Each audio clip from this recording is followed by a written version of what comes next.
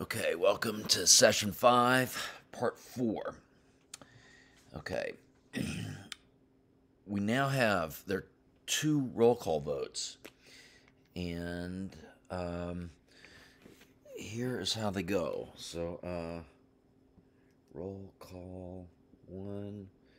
Um, what happens is um, yay is uh, what's this? Um, the yay vote, which is uh, is that right? Theta one. Yay vote's theta one. uh, nay vote is theta three, and uh, by the way, theta one is two dollars ninety cents. Theta three is three fifteen. And in case you're interested, it was 17, 17 to 72. Um, on roll call two, the yay vote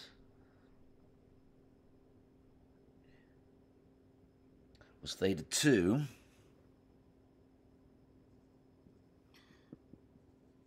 Nay vote was theta 3.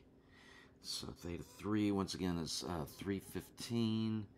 Theta 2 is 305. And the outcome was uh, 32 to 60. 32 to 60. Okay. So, um, here is what we have now. Okay. so the first roll call vote was theta 3, which is 315, and versus theta 1, which was uh, 290. Okay. What is the midpoint? Of those two. Remember for the the the, the theory from uh, Krehbiel and Rivers. So you're indifferent if you're right at the midpoint. If your ideal point is right at the midpoint. So the midpoint is uh, 3.025. Okay, so 3.025. And so what happens on this uh, this one, I'm to use green. So, uh, nay.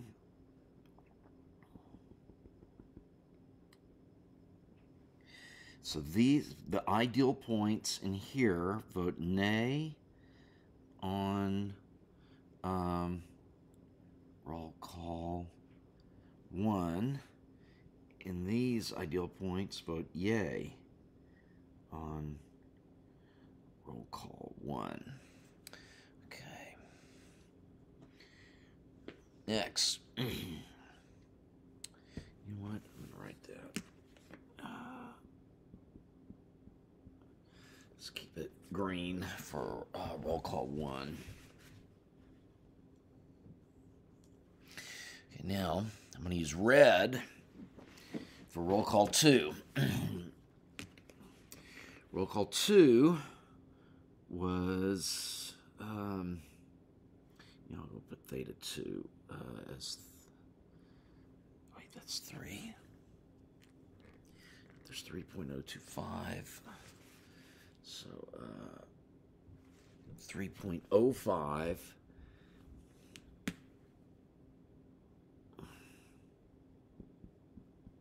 And this is theta 2. Okay, what's the midpoint? It's 3.10. So, on roll call 2, the nay was theta 3, so these ideal points vote nay on roll call 2, and these ideal points vote yay on call 2. Okay. So here's what we have. Um, let me draw this green line. Further down. Um, let's see.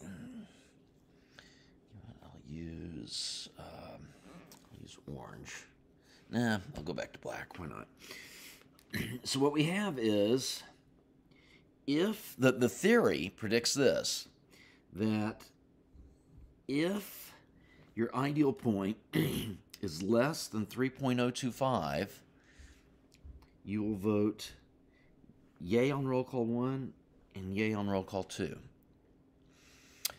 if your ideal point is in between 3.025 and 3.10 then you will vote nay on roll call one and yay on roll call two. If your ideal point is greater than 3.10, then you should vote nay on both of them. Okay. Now, a second, I'm going to use those facts to create a likelihood function. Uh, first, let me point out one thing though. The theory predicts that everyone will vote either yay, yay, nay, yay, or nay, nay. The theory predicts that no one will vote yay, nay. That is, yay on the first roll call vote, nay on the second. The good thing for Krehbiel and Rivers is that didn't happen. There was no senator who voted yay, nay. So here's a potential way to falsify, you know, without even using statistics, uh, falsify their the theory, and it survived. The, the Krehbiel Rivers theory survived that potential uh, falsification. Okay, so we're good so far.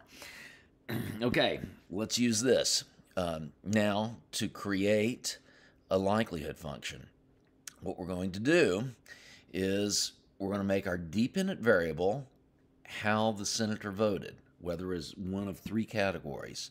So call it big Y sub t. It either equals, I'll call this one, two, or three, whatever you like, or yay, call it yay, yay, nay, yay, nay, nay. But uh, the, the probability that this, the senator votes yay yay is the probability that his or her ideal point is less than 3.025. The probability that he or she votes nay yay is the probability the ideal point is in between 3.025 and 3.1. The probability votes nay nay is the probability that his ideal point is greater than uh, 3.10. Okay, so there we have like, uh, I guess the first two steps, first definitely first first step of the recipe for creating a likelihood function. Okay, so let's do that now. Uh, let's actually write the likelihood function. All right, um, here is what we do. Let's see. Let's not forget the ideal point. so we're going to say the probability the xi is either less than 3.025 in in one of those three ranges it's going to be a probability that that function that uh, is in between those ranges okay and that's how we're going to set up those those probabilities okay so here's what we're going to do um,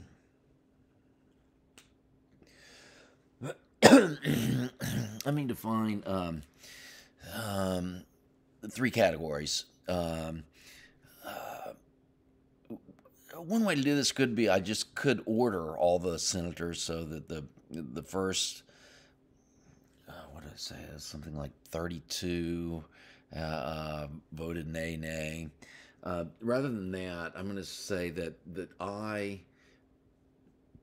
either I call it the set um, YY um, or I within, um, what was it?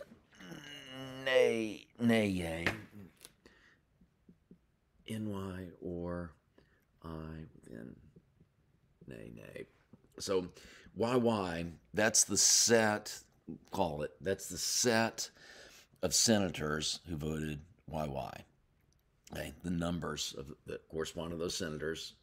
NY senators voted nay on the first, yay on the second, NN, so on. Okay, here's what I'm going to do. So the likelihood, so L, um, what are our parameters? We're going to estimate the gammas. Remember, that's a vector of about 5. And we're also going to estimate sigma. Okay, I'll talk in a second about whether we can actually, if we run into the same problem as with a probit, whether we can identify the sigma. And that equals, first, we're just going to call, so big pi, the product of all the i's in that YY. Okay, so we're going to take all the senators. Um, I can't even remember what. Let's see, voted nay, nay. It's going to be something like 60. No, no. Uh, the ones who voted yay, yay. Uh, that's going to be something like 17. It's going to be about 17 senators. Okay, we're going to list all those senators And we're going to say the probability that they vote YY, and this is equals the probability that their ideal point is less than 3.025. Okay, so that equals um, probability, um, the ideal point, which is um, zi, the vec transpose times gamma uh, plus epsilon i, error term for senator i, less than um, um, 3.025.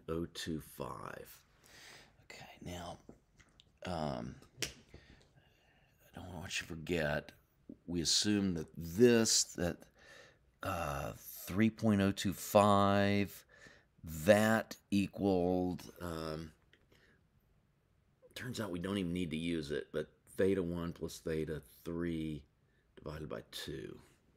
Theta 1 plus theta 3 divided by 2 equals 3.025. Okay. Um, see. Okay. Close. Uh, brace, okay, times the product over all the i's in in y. Okay, now the probability that the senator votes in y is the probability that his or her ideal point is greater than 3.025 but less than 3.10. Okay. So This is uh, probability um,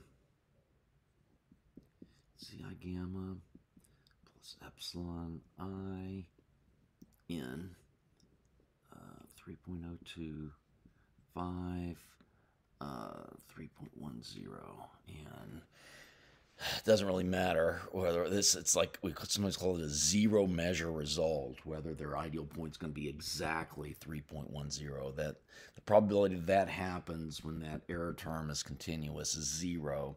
So we don't have to worry whether we use a square bracket or um, a parentheses. Up to it I'll, I'll use a parentheses but it doesn't matter. And then um, times big pi i n in n. And this probability is the probability that the ideal point is greater than 3.10. Okay, so this equals probability zi gamma.